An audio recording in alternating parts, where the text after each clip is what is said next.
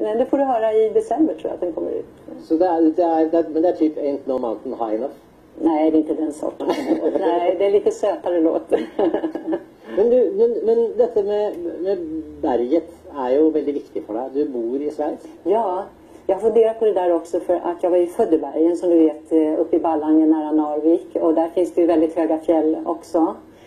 Och på något sätt är det som cirkeln har slutit sig. Jag är tillbaks eh, till den naturen där jag en gång eh, föddes och eh, jag trivs fantastiskt bra i fjällen eller i bergen.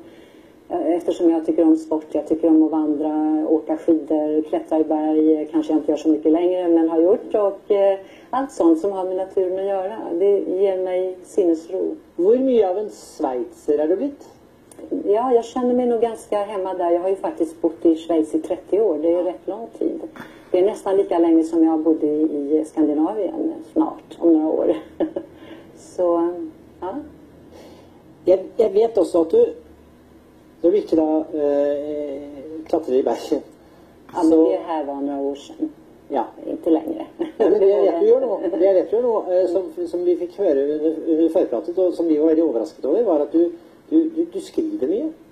Ja, jag, jag har alltid skrivit